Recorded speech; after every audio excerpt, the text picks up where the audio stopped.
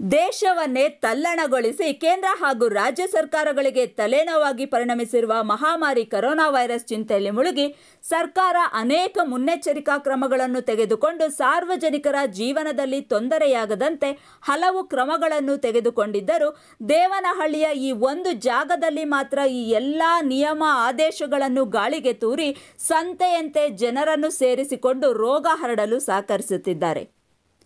ಇಂತಹ ಒಂದು ದೃಶ್ಯ ಕಂಡುಬಂದಿದ್ದು ದೇವನಹಳ್ಳಿಯ ಬಹುದೊಡ್ಡ ದಿನಬಳಕೆಯ ಮಳಿಗೆ ಡಿಮಾರ್ಟ್ನಲ್ಲಿ ಸರ್ಕಾರದ ಆದೇಶಕ್ಕೆ ಕ್ಯಾರೆ ಎನ್ನದೆ ಯಾವುದೇ ಭಯವಿಲ್ಲದೆ ನಡೆಸುತ್ತಿರುವುದು ಹಲವು ಅನುಮಾನಗಳಿಗೆ ಆಸ್ಪದ ಹುಟ್ಟಿಸಿದೆ.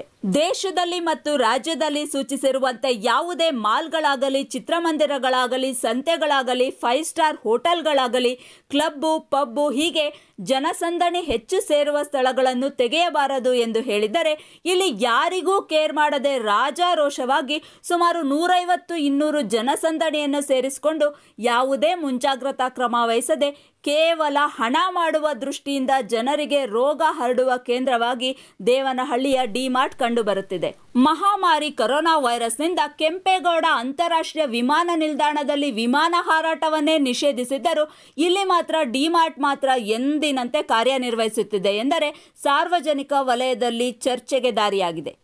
ಈ ಬಗ್ಗೆ ಬೆಂಗಳೂರು ಗ್ರಾಮಾಂತರ ಜಿಲ್ಲಾಧಿಕಾರಿಗಳು ಹಾಗೂ ಸ್ಥಳೀಯ ಅಧಿಕಾರಿಗಳು ಸಾರ್ವಜನಿಕರಿಗೆ ಯಾವುದೇ ತೊಂದರೆಯಾಗದಂತೆ ಎಚ್ಚೆತ್ತು ಕ್ರಮ ಕೈಗೊಳ್ಳಬೇಕಿದೆ.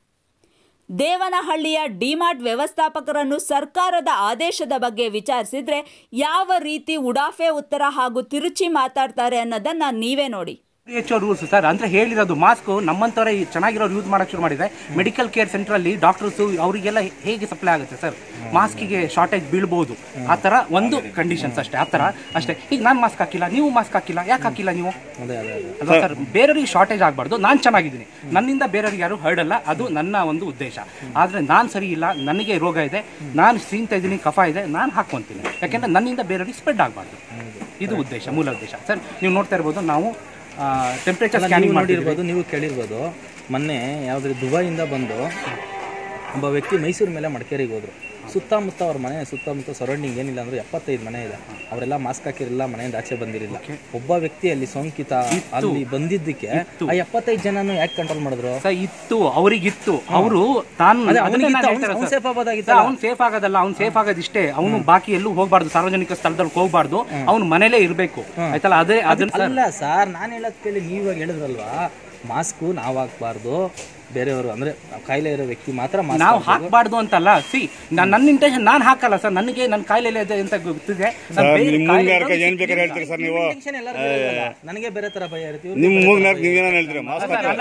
ಕಣ್ಮುಂದೆ ನಡೆಯುತ್ತಿರುವ ಸರ್ಕಾರದ ಆದೇಶ ಉಲ್ಲಂಘನೆಯನ್ನು ನೋಡಿಯೂ ಸುಮ್ಮನೆ ಕುಳಿತರೆ ಯಾವುದೇ ಜನತಾ ಕರ್ಫ್ಯೂ ಸಹಕಾರಿಯಾಗುವುದಿಲ್ಲವೆಂದು ಸಾರ್ವಜನಿಕರ ಅಳಲಾಗಿದೆ.